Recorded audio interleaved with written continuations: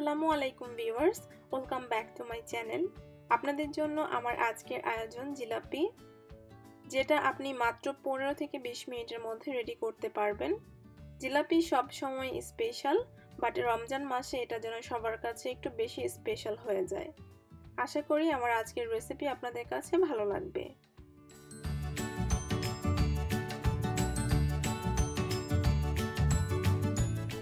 প্রথমে একটা মিক্সিং বলে এক কাপ ময়দা নিয়ে নিচ্ছি। দিয়ে দিচ্ছি দুই টেবিল চামচ পরিমাণ চালের গুঁড়া। আপনাদের কাছে যদি চালের গুঁড়া না থাকে, সেই ক্ষেত্রে এক টেবিল চামচ কর্নফ্লাওয়ার দিতে পারেন। দিচ্ছি এক টেবিল চামচ পরিমাণ বেসন, এক টেবিল চামচ চিনি, এক টেবিল চামচ ইস্ট। ইস্টটা আপনারা যে কোনো কনফেকশনারিতে খুব সহজেই পেয়ে যাবেন। আর দিচ্ছি পিঞ্চ পরিমাণ অরেঞ্জ ফুড কালার এবার সব শুকনো উপকরণগুলো একসাথে মিশিয়ে নিচ্ছি।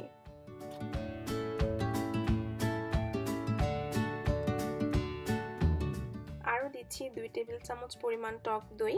বাসায় কীভাবে টক দই তৈরি করতে হয় সেটার একটা রেসিপি আমার চ্যানেলে আছে। আমি লিঙ্কটা ডিসক্রিপশন বক্সে দিয়ে দিব। দিচ্ছি দুই টেবিল চামচ পরিমাণ সয়াবিন তেল। এখন টু থার্ড কাপ কুসুম গরম পানি দিয়ে একটা বেটার রেডি করব।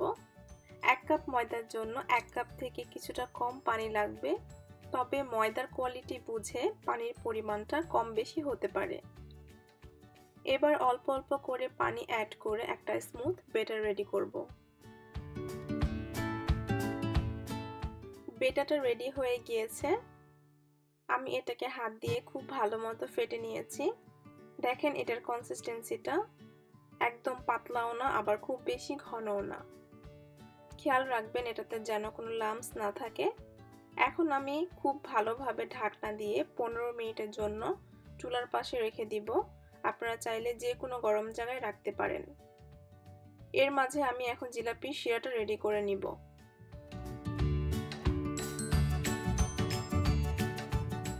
চুলায় একটা হাঁড়ি বসিয়ে এর মধ্যে দিয়ে দিচ্ছি সোয়া এক কাপ মানে এক cup plus one fourth cup চিনি, দিচ্ছি টু থার্ড কাপ পানি মানে এক কাপের তিন ভাগের দুই ভাগ পানি আর এক টেবিল চামচ লেবুর রস। লেবুর রসটা দেওয়ার কারণ হচ্ছে যাতে করে চিনিটা জমাট না বাঁধে। এইবার চুলার আঁচ মিডিয়ামে রেখে শিরাটা একটু জাল করে নিব। যতক্ষণ না পর্যন্ত শিরাটা আঠালো বা একতারের শিরা হয়। আমি এখানে এলাচিটা স্কিপ করেছি, আপনারা চাইলে দুই তিনটা এলাচি অ্যাড করে নিতে পারেন।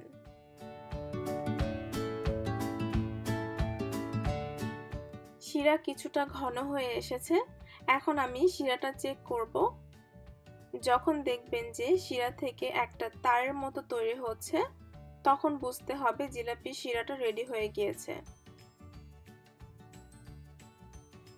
এখন আমি চুলাটা অফ করে এর মধ্যে দিয়ে দিচ্ছি সামান্য ফুড কালার আর দিচ্ছি এক টেবিল চামচ পরিমাণ ঘি। এই দুইটাই অপশনাল না দিলেও কোনো সমস্যা নেই, তবে খেয়াল রাখবেন, শিরাটা ঘন হয়ে যাওয়ার পর ঘিটা অ্যাড করবেন। এতে করে জিলাপির ফ্লেভারটা খুব ভালো আসবে।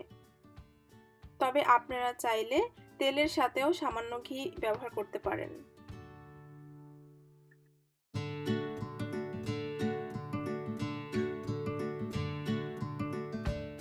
পনেরো মিনিট পর দেখেন ডোটা ফুলে ডবল হয়ে গিয়েছে আর খুব ভালো মতো ফার্মেন্টেড হয়েছে।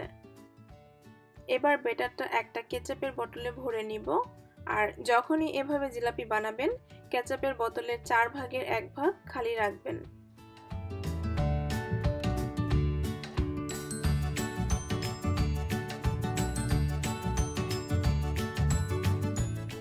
একটা ফ্রাই প্যানে পর্যাপ্ত পরিমাণ তেল নিয়ে তেলটা মিডিয়াম গরম করে নিয়েছি। এখন আমি এর মধ্যে জিলাপিগুলো দিয়ে দিচ্ছি আর মিডিয়াম আঁচে হালকা বাদামি করে ভেজে নিব।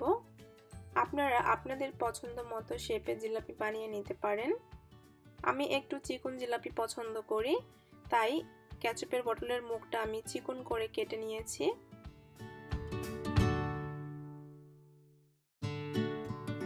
আপনাদের কাছে যদি ক্যাচাপের বোতল না থাকে, সেক্ষেত্রে আপনারা ভারী যে কোনো জিপলক ব্যাগ ইউজ করতে পারেন। এবার আমি জিলাপিটাকে উল্টে পাল্টে খুব ভালো মতো ভেজে নিচ্ছি। জিলাপিটা যখন হালকা ব্রাউন কালার হবে, তখন এটাকে তুলে সরাসরি শিরায় দিয়ে দিব। খেয়াল রাখবেন, শিরাটা যেন কুসুম গরম থাকে। আর শিরায় দেওয়ার আট থেকে দশ সেকেন্ডের ভিতর জিলাপিটা তুলে নেবেন। গরম শিরায় দেওয়া বা বেশিক্ষণ শিরায় রেখে দেওয়া জিলাপি নরম হয়ে যাওয়ার এটাও কিন্তু একটা রিজন প্রায় দশ সেকেন্ড পর আমি জিলাপিগুলো একটা প্লেটে তুলে নিচ্ছি। জিলাপি বানানোর সময় যদি মনে হয় শিরাটা ঠান্ডা হয়ে গিয়েছে, তাহলে চুলায় দিয়ে একটু কুসুম গরম করে নেবেন। এতে করে জিলাপির ভিতরে শিরাটা খুব ভালো মতো ঢুকবে।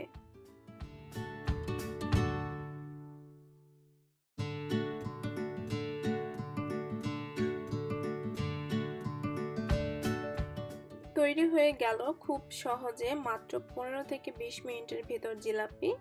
এই রমজানে আপনারা এটা ট্রাই করে দেখতে পারেন। আশা করি আপনাদের কাছে ভালো লাগবে। যদি ভালো লাগে লাইক করবেন। যারা এখনও আমার চ্যানেলটি সাবস্ক্রাইব করেননি, আশা করি সাবস্ক্রাইব করে সাথে থাকবেন। সবাই অনেক বেশি ভালো থাকবেন। আল্লাহ হাফেজ।